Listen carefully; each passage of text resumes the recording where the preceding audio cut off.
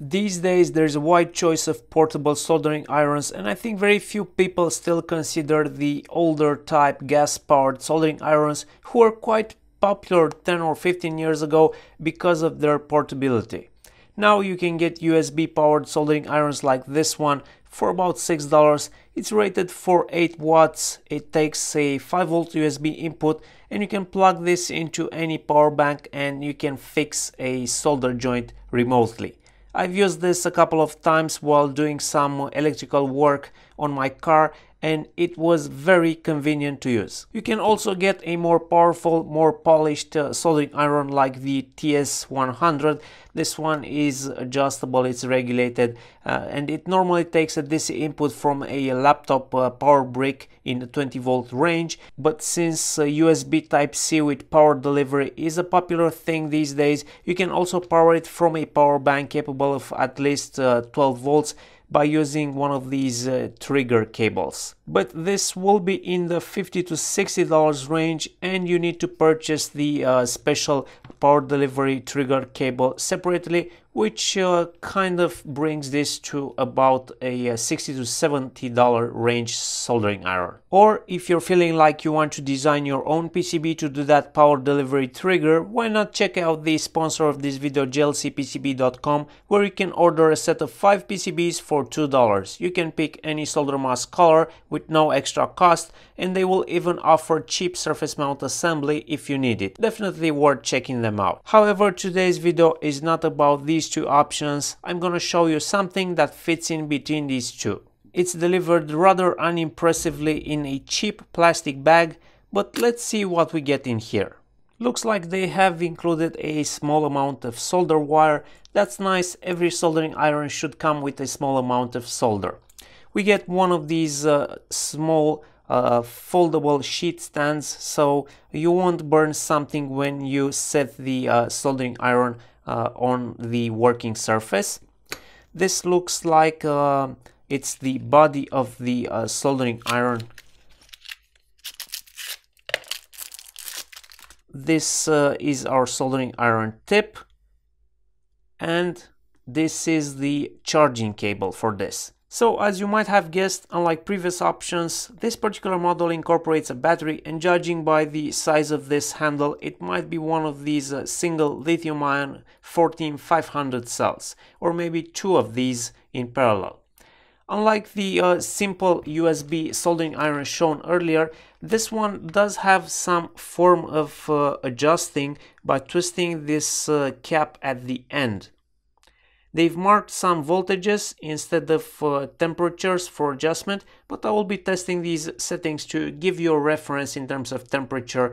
Uh, I'll do that later on. This uses an almost uh, identical uh, soldering iron tip uh, with the uh, USB soldering iron. It's also rated for uh, 8 watts. It should it should have similar performance, but these two are not interchangeable due to slightly different uh, mounting style at the base. And you might think 8 watts is not enough, but unless you are working on some heavy ground planes on a PCB, trust me, this is going to work decently the tip is nicely designed, it's a cartridge type tip, so there is a good transfer of thermal energy from the heater to the tip. To connect the charging cable you need to remove the tip which is uh, a bit annoying. I think they uh, could have designed this uh, better to maybe have the uh, charging connection at the other end to avoid unscrewing the tip and this was pulling about 0.5 watts when charging.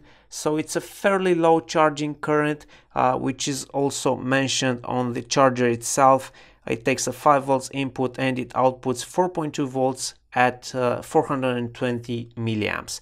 So the batteries are directly connected to the tip uh, and it's directly charging them when you first turn this on, you might think you've got a faulty unit because it's uh, not responding when pushing the switch.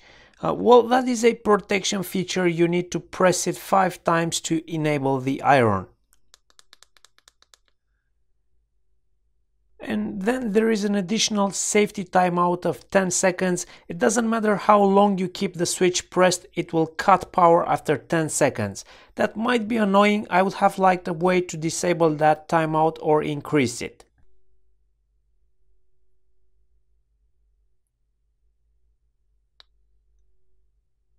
Unfortunately, this turned into a bit of a fail because it stopped working. I was able to start it, use it for a few seconds, enough to melt a bit of solder on the tip, and then it stopped working. First, I thought the battery was dead. When I press the button, it uh, flashes the light, which is a sign of low battery, but when I plug the charger in, it shows green, it's, it means it's not charging.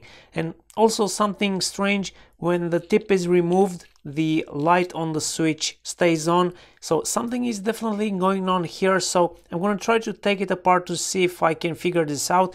But first, let's check the uh, output because before when it was working depending on which setting I had right here on the potentiometer it was outputting that voltage on uh, the connection and right now it appears to be outputting 3.3 uh, volts constantly.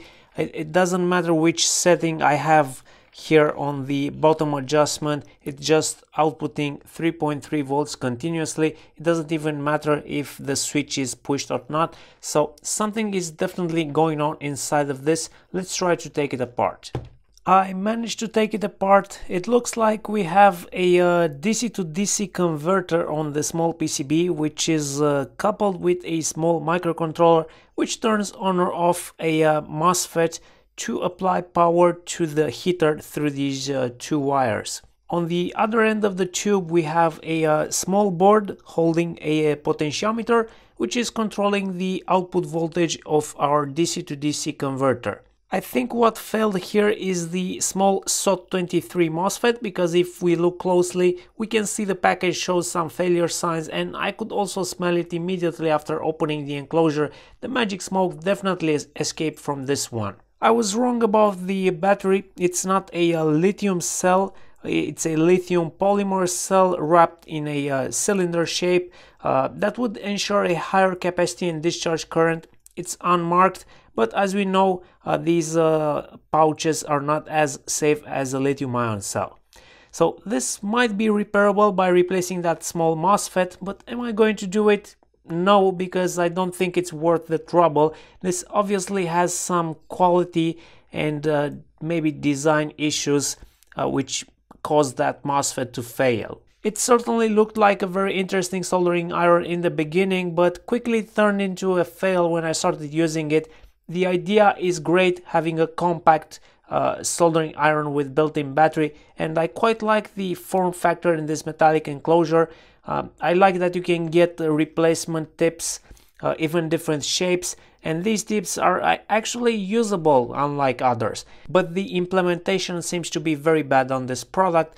Uh, it looked to be decent quality on the outside but it failed within 30 seconds of using it and if it would have continued to work I would have probably hated the 10 second timeout so I cannot recommend you getting this product. If you're looking for something cheap, you are uh, better off with the USB powered model and using it with a power bank. This one is simpler, there is less to go wrong and it's two times cheaper.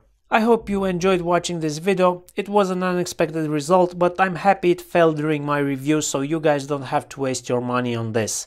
I got my particular unit from Banggood, but I would imagine units purchased from eBay or AliExpress are similar quality and would likely fail in a similar fashion sooner or later.